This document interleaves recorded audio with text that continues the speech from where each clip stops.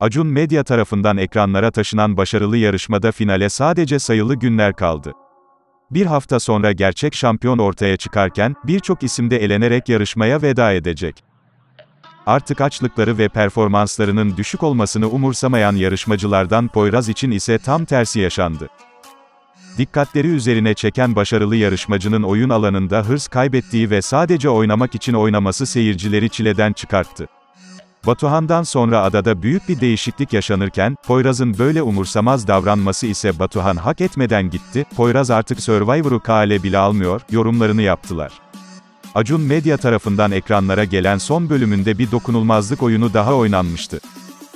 Dokunulmazlığı kazanan isim İsmail olurken yarışmanın eleme adayını da ortaya çıkarttı. Dora eleme adaylarından biri olurken Poyraz'ın dokunulmazlık için herhangi bir savaş vermemesi Acun Ilıcalı'nın sağ kolunun da dikkatinden kaçmadı. Peki, neden böyle bir şey yaptı? Ayşe ile Poyraz yarışma parkuruna çıkmış Ayşe tüm gücüyle Poyraz'ı alt etmeye çalışırken, Poyraz ise sadece oynamak için oynamıştı. Eleme adayı olmayı göze alan başarılı yarışmacının bu hareketi ise Ayşe onun en yakın arkadaşı. Belki bu yüzden öyle bir şey yapmıştır, sözlerinde bulundu. Poyraz sevenleri ise Poyraz'ın bu halinin oldukça olağan dışı olduğunu dile getirerek böyle bir şeyin ancak ve ancak elenmek isteyenlerin yapabileceği bir hareket olduğunu düşündüklerini aktardılar.